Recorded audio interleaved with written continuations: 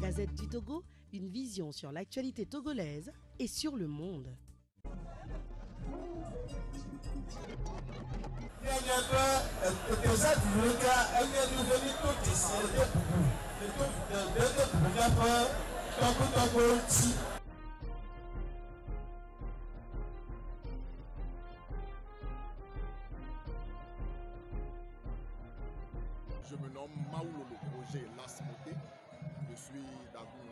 Quartier Sagle Ça retenu de cette 50e célébration.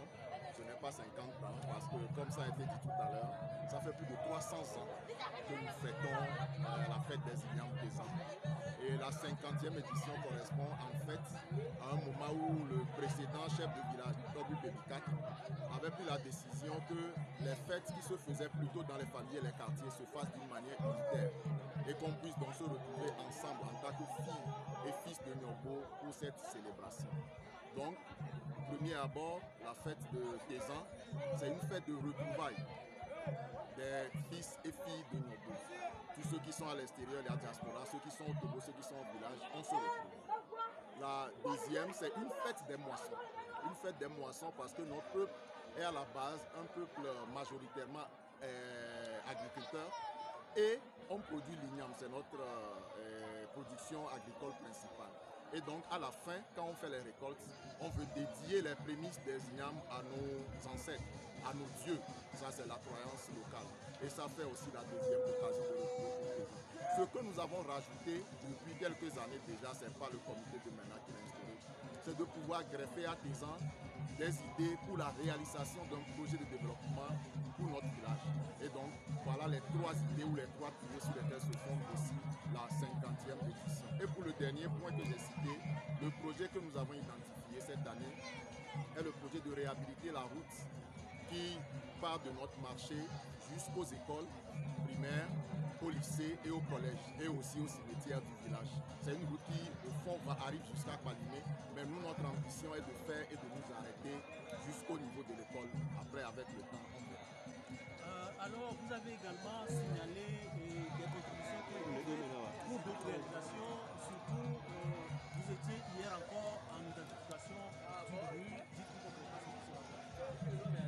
c'est une méthode que nous avons déjà éprouvée.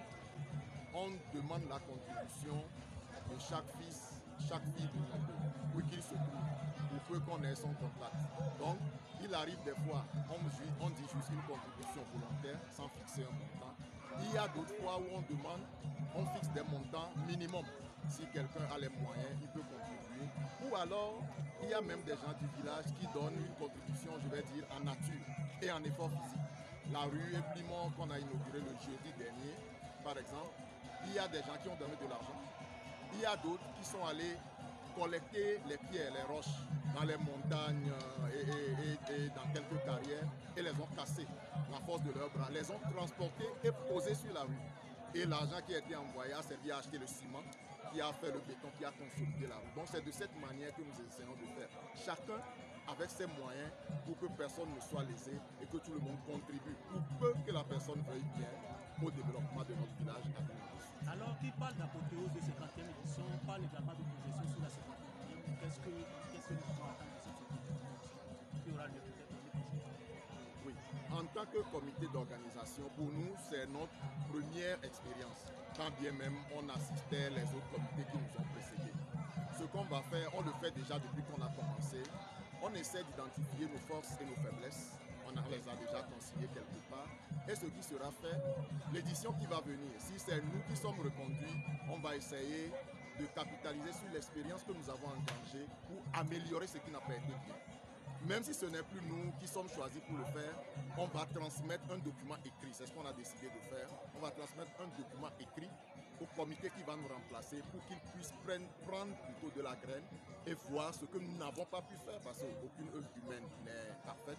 Ce que nous n'avons pas pu faire pour qu'eux ils essaient de faire, de faire mieux. Et nous, nous serons forcément à leur côté comme conseil, comme aide, comme appui pour que toujours le nom de notre village soit porté haut et que des ans, chaque organisation soit mieux que l'organisation qui a précédé.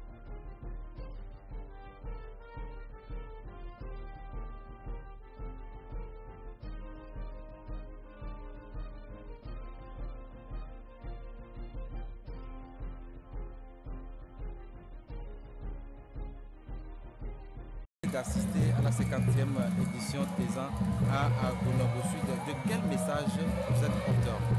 Oui, d'abord, euh, la fête euh, traditionnelle des ans s'inscrit parfaitement dans la vision du gouvernement qui veut qu'on fasse la promotion de nos valeurs culturelles, de nos expressions culturelles, parce que c'est notre identité.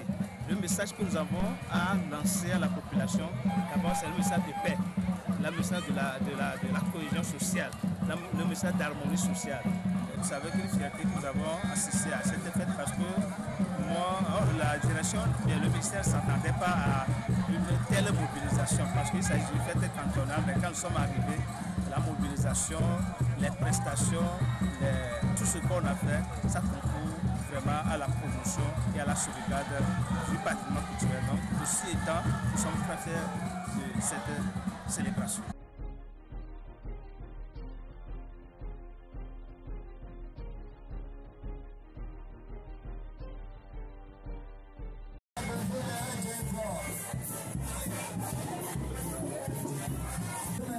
Alors,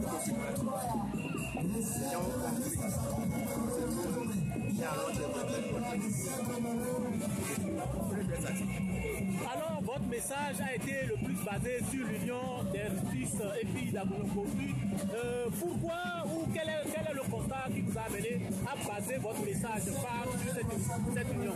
Oui, on l'a déjà dit auparavant. D'abord, si nous faisons le 50e anniversaire, ce n'est pas exact. Parce qu'on mettait la petite gamme avant, avant décembre.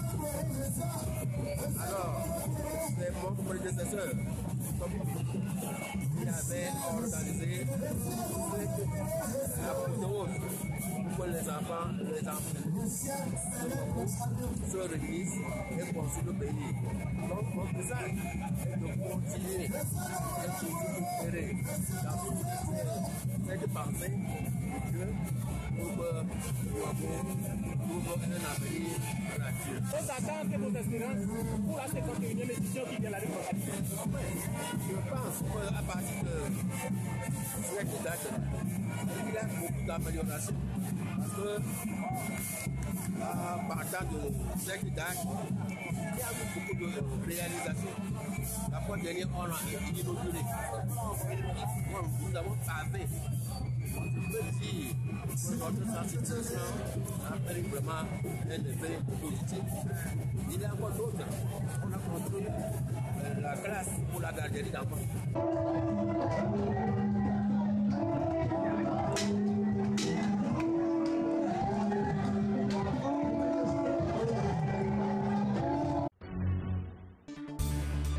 Gazette du Togo, une vision sur l'actualité togolaise et sur le monde. Rejoignez-nous sur le www.lagazettedutogo.com ou sur nos comptes Facebook, Twitter et YouTube. Pour tout contact, écrivez à contact@lagazettedutogo.com ou appelez le 92 80 88 53. La Gazette du Togo, c'est l'information en continu.